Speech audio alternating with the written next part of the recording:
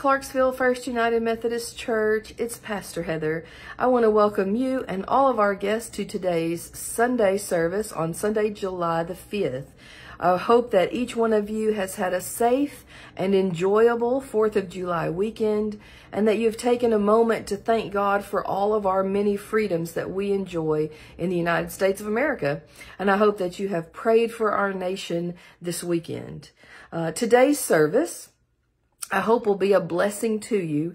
Uh, we're going to begin our service today with a prayer offering that is called Heal Our Land, Lord. And so I would ask you now to prepare your hearts for worship as we pray together.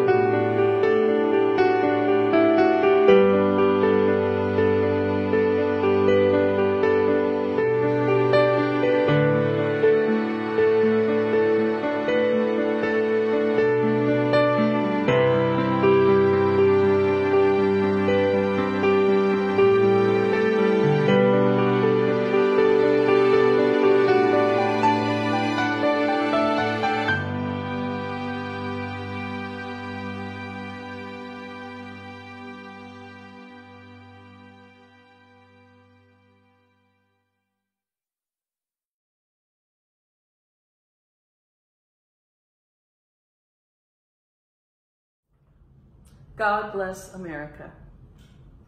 It's a prayer for grace in this day and age.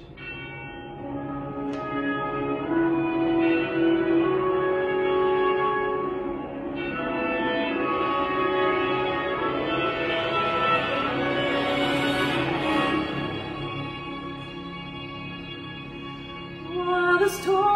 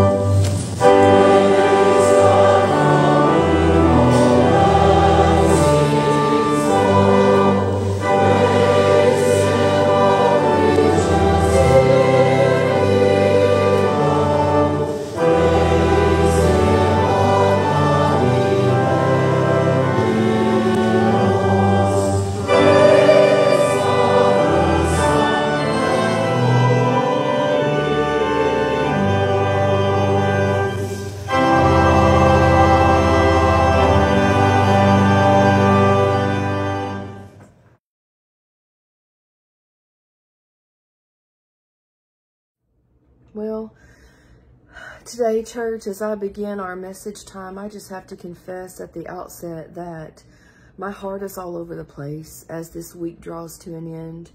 My heart is heavy and my spirit is heavy and feels burdened and I'm sad, so sad for the Crone family and um, it's hard to even know where to begin this week. Um, with all the news in our nation right now about 38 out of 50 states having increasing cases in the COVID virus, after all that we've been through for all these many months, it's just too much. And with all the stories of continuing political unrest, it's just too much. And then with um, the news at the end of this week of Caitlin's passing, it is absolutely too much. Devastating news and heart so sad.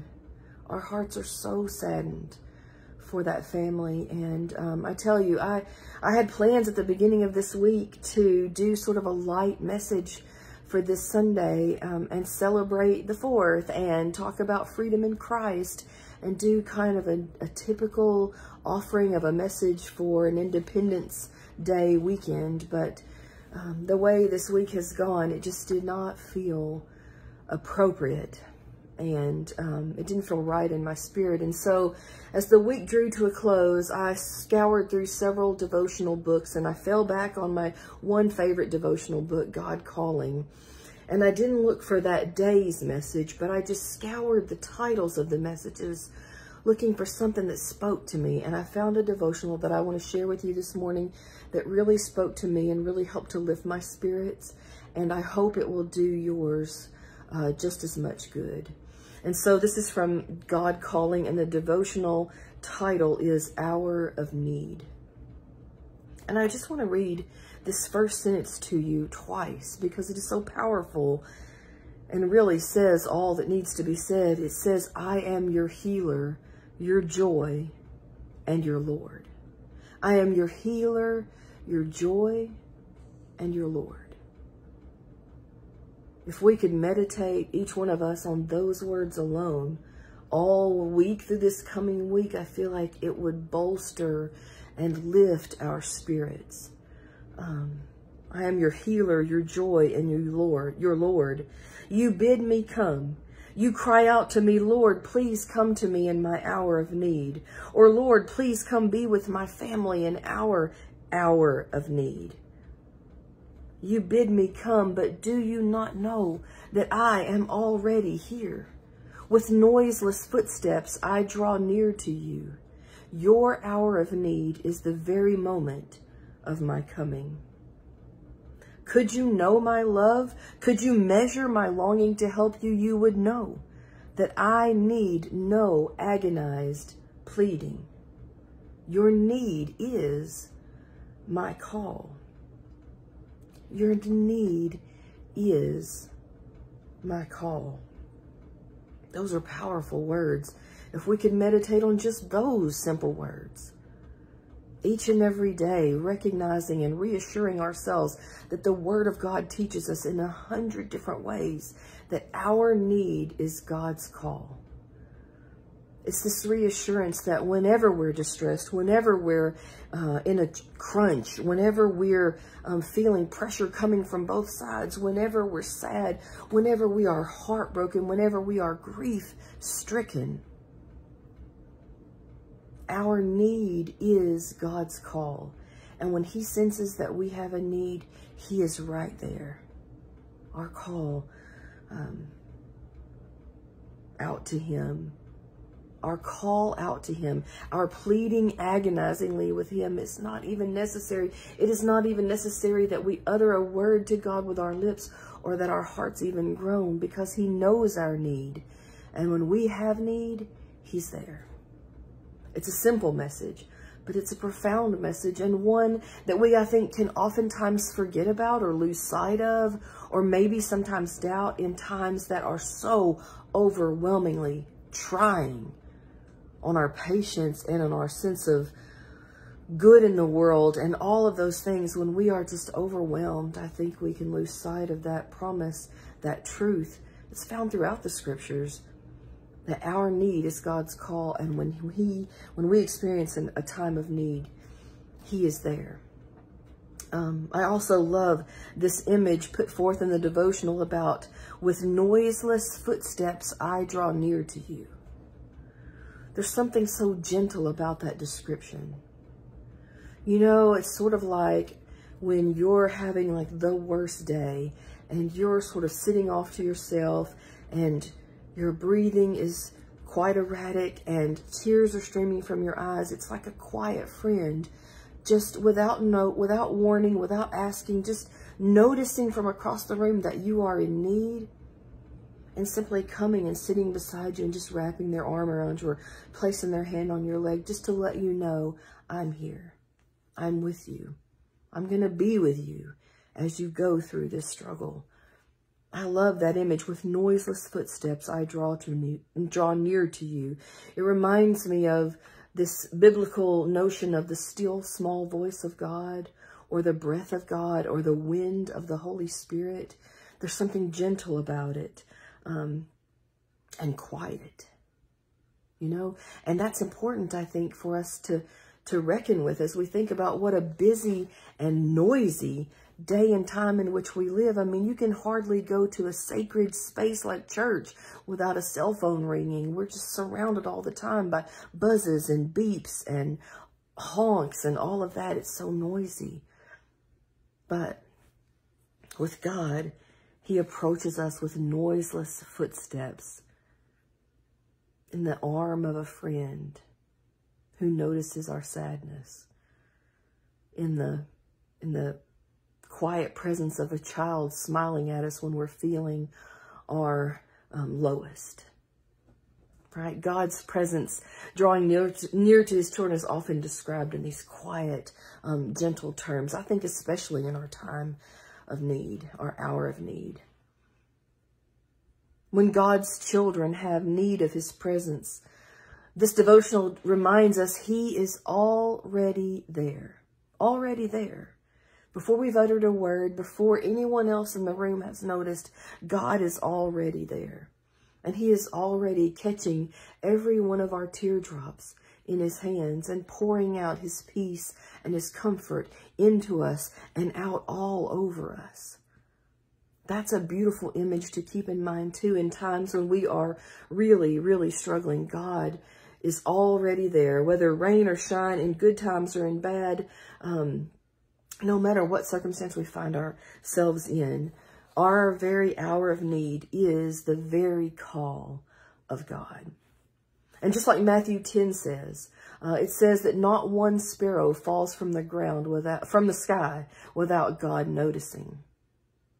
Not one sparrow falls to the ground without God noticing. So I think it is true um, with our tears. God notices our tears our weariness, our tiredness, our moaning. He notices them and he hears them and he feels them alongside us. I mean, if you think about it, there are so many examples of this in the scriptures. Uh, when Hagar lifted up her voice to God in her distress, he heard her cry and he drew near to her. When Hannah wept bitterly, God heard her cry and he drew near to her. When David became weary, after the loss of his infant son. And as he moaned, God did not tire of hearing David's moaning. He just drew near to him. The God of all comfort keeps watch over our struggling and over our weeping. Psalm 56 says, God gathers up all of our tears. Psalm 121 says, he who watches over us will not slumber. He will not slumber. That is a beautiful image to keep in mind that God is always alert, always on guard, always on watch, no matter what all of his children all across the globe are going through.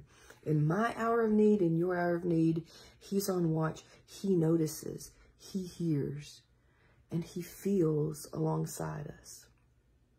He will never leave us nor forsake us. That is the promise of Scripture. So whether like me, you are still struggling day after day with the ever evolving news about this virus. Whether you are struggling every day with um, the ever evolving news about cries for justice in our land, in our nation, amongst our people, whether um, your heart is filled with tears and sadness over the loss of Caitlin, remember this. Hold on to this. God is our healer. He is our joy. And he is the Lord of our life. And what it means to be the Lord of someone's life is that he is the guide of our lives. He is the keeper of our lives. He is the watchman for our lives. He will never leave us nor forsake us, and he will come to us in our hour of need. May you be blessed this coming week.